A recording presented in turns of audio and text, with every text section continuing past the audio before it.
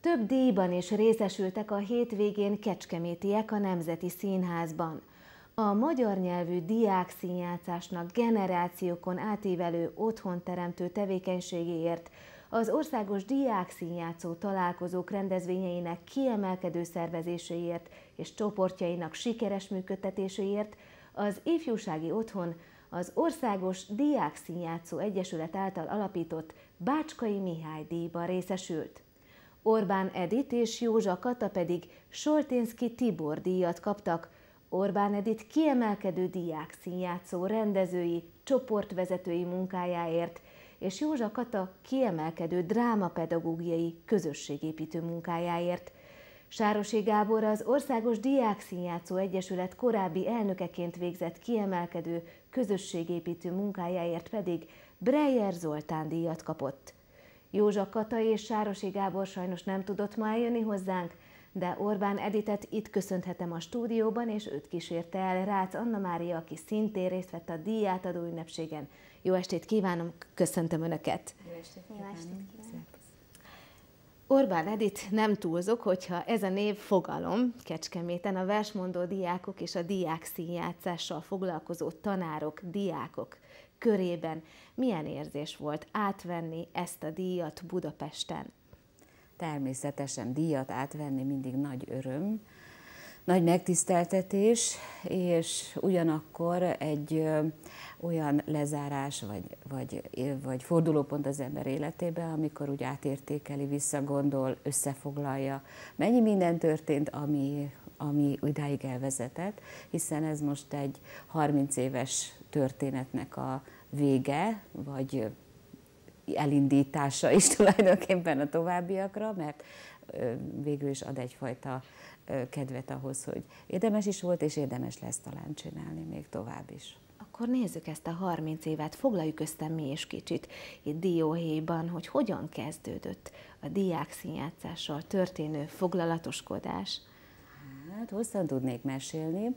Tulajdonképpen én a Láncid utcai általános iskolában kezdtem a munkámat, még az iskola megnyitásának évében, tehát az első törzsgárdához tartoztam, és ott magyar énekszakos tanárként kezdtem el dolgozni, és már ott nagyon érdekelt a drámapedagógia, illetve a drámára épülő színjátszás a gyerekek ezt nagyon szerették, és láttam, hogy ennek van értelme, és elkezdtem tanulni a drámapedagógiát.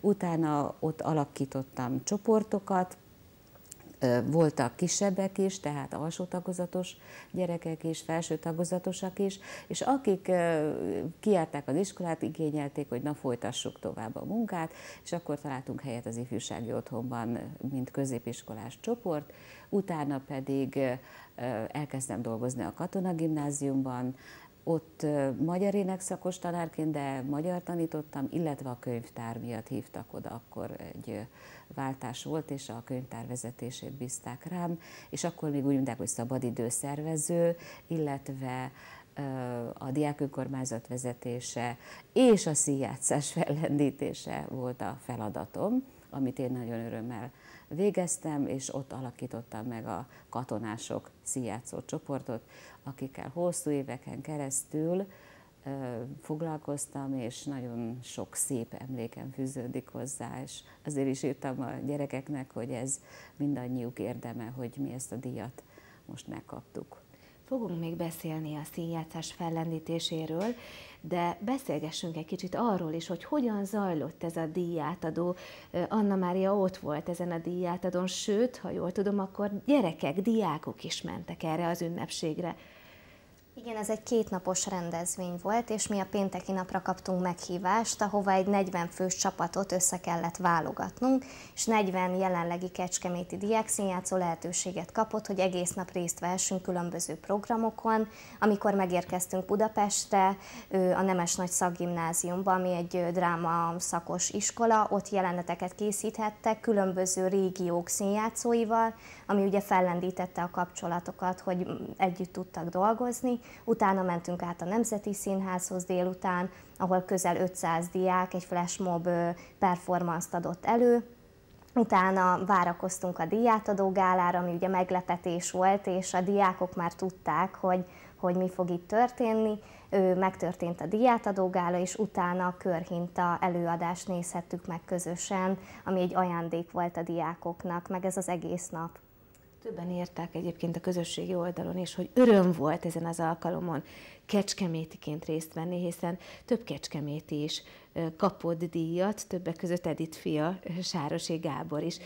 Hogyan sikerült egyébként ha már ugye ő is díjazott, anya, fia is díjat vehetett át, akkor erről is beszéljünk egy kicsit, hogy Gábornak hogyan adta át a diák színjátszás szeretetét. Hát jó lenne, ha Gábor ezt elmondhatná, de én tulajdonképpen vele együtt csöppentem bele a színjátszásba, tehát miatta és érte és velük az ő kis baráti körével kezdtem el igazán először színjátszó csoportot alakítani, mert nagyon sok fölösleges szabadidőnt éreztem, hogy, fölös, hogy nem úgy töltenek, ahogy kellene, nem találták meg, amit szeretnek, na hát akkor játszunk. És a játékban látta, hogy nagyon jó barátságok szerveződtek, nagyon élvezték a játékot, és így aztán a Gábor egyre jobban ezt megszerette, szerintem figyelgette azt is, hogy én hogyan csinálgatom ezt, és amikor ő középiskolás lett, a gimnáziumban már odáig fejlődött a dolog, hogy ő is alakított kis csoportot, akiknek rendezett darabokat, és előadták, és akkor ő belekóstolt abba is, hogy rendezés. Utána ő tanulta is ezt a nemes nagy szakképző iskolában, az előbb említettük, ahol ő színész és rendezést és drámapedagógiát tanulgatott, és közben elvégezett az egyetemen, egyetemen egy film esztétika szakot, és a tanulás közben színészkedett, rendezett, és amikor minden befejezett, visszajött ide, hogy középiskolás csoportokat szeretne rendezni, és most ezzel foglalkozik, több csoportja is van. Én úgy látom, hogy nagyon szeret a diákok között lenni, nagy, igyekszik nagyon felelősségteljesen végezni a munkáját, úgyhogy nekem nagy öröm ezt látni, hogy olyan sok diákot tud erre a munkára felhívni, és elhívni, és együtt lenni, mert ez egy nagyon jó csapatépítő program is. Ma már több helyen van Kecskeméten diákszíjátszás. Talán kijelenthetjük, hogy tényleg sok helyen, és azt is kijelenthetjük, hogy Edith igazából mindegyiknek az elindításánál valamilyen módon ott volt. Miért jó a gyerekeknek, a diákoknak ebben a színjátszó munkában részt venni, akkor is, ha esetleg nem lesznek színészek. Mint például. Igen, Itt Anna Mária véleményét is majd Igen, kérdezem aki, erről, de először Edith. Aki szintén így indult. Én azt tudom a részemről mondani, hogy ez egy komplex személyiségfejlesztő tevékenység, amelyet természetesen a diákonnak nem ilyen hivatalos nyelven mondjuk el.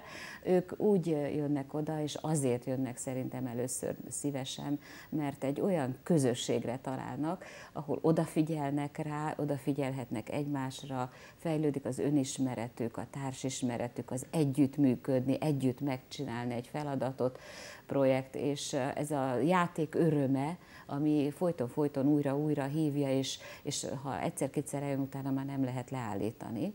Az, hogy még utána esetleg a színházat is felhasználjuk ebbe a nevelési munkába, és a színházért, színházzal történő nevelés is belefolyik, ez még habatortán, mert az, hogy egy előadást közösen létrehozni, ez egy nagy boldogság és nagy öröm, nagy felelősség, nagyon pontosnak kell lenni, odafigyelni, és ez körülbelül mondom, mit mondjak, hasonlatképpen, és sportban is, amikor egy jó csapat összeáll, és győznek, és gólt sikerül dobni. Tehát mindenkinek fontos a munkája, és e, a végén a taps, a szülők öröme, a barátok öröme, és az ő öröme, hogy megcsinálta, ez egy örök életre nyomot hagy az életükben, én úgy gondolom. Anna Máriánál hogy alakult ez a történet? Mikor, hogyan szeretett bele a színjátszásba? Én is már gyerekként a színjátszás nagy szerelmese voltam. A Kecskeméti Katona József Színházban még az Kodály iskola által volt lehetőségünk egy darabban szerepelni, ötödik osztályban, és ott volt pár év szünet, amikor tudtam, hogy én, én erre nagyon vágyom, és kiderült, hogy középiskolásoknak tart a Gábor színjátszót az ifjúsági otthonban, és hát oda jelentkeztem, ugye az Éziben mindig volt drámanap, ahol mindig aktívan dolgoztam, de az nem volt elég, és elkezdtem a, az ifjú morbid színpadba járni, elkezdtem Edith nénihez is, plusz színjátszókörökre, hogy minél, minél aktívabb legyek, nem sikerült a színművészeti felvételi, én is a Nemes Nagy Ágnes színészképzőbe jártam, és utána rájöttem egy év után, hogy a drámapedagógiával is nagyon szeretnék foglalkozni, mert, mert rengeteg lehetőség van, és szükség lenne Kecskeméten rá, és ö, egyedül a Gábor, meg Edith néni nem tudja ö, ezt a rengeteg csoportot vinni, és hogy én is szeretnék ebben részt venni, mert, mert ö, ez egy óriási dolog, és a gyerekeknek, amit én is megkaptam, akkor szeretném visszaadni amiben én is részesültem, mert középiskolásként az egyik legnagyobb dolog, ha egy ilyen közösség és egy ilyen megértő közeg veszi körbe az embert. Jelenleg hol tanul, és mi a terv? Jelenleg a Pannon Egyetemen tanulok, pont jövő héten fog véget érni az utolsó szorgalmi időszakom, magyar és drámatanárnak tanulok, most fogok menni egy éves tanári gyakorlatra, ahol remélhetőleg a Kecskeméti Színjátszóműhelynél töltöm, meg egy iskolában. Hát ez a tervem mindenféleképpen, hogy a színjátszóműhely és majd egy középiskolában szeretnék ugyanúgy a drámával elhelyezkedni. Edith nyugdíj mellett még foglalkozik, ha jól tudom, diákokkal. Hogyan, milyen módon? El tudja engedni igazából a diák színjátszást, a gyerekek tanítását, mert nem olyan egyszerű, mindig aktív volt, mindig sokat foglalkozott gyerekekkel.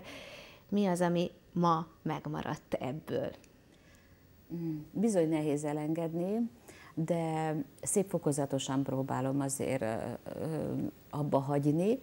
A nagy öröm számomra, hogy mint ahogy látható Ancsi is, és többen is vissza-vissza jönnek, tehát van kiknek átadni, és nagyon érdeklődőek, nagyon szívesen jönnének vissza ide dolgozni, és ez nagy öröm, hogy nem áll le attól, mert én most nyugdíjba megyek, amit még próbálok, vagy, vagy csinálok, ami örömet ad, hál' Istennek csupa olyat tehetek, ami örömet ad nekem is, versmondókkal foglalkozom, illetve olyan diákokkal, akik Színművészeti Egyetemre szeretnének fölvételizni, vagy más színészképző intézménybe, illetve van olyan szakköri tevékenységem, ahol drámatörténetet, drámaelméletet tanítok, és különböző országos versenyekre, például még a Dráma OKTV-re is készítek fel diákokat, tehát elméletet is tanulunk, ezt is nagyon szeretem csinálni, és úgy gondolom, hogy amíg szükség van erre, addig ezt csinálom. Nekem is nagyon jót tesz, megmondom őszintén.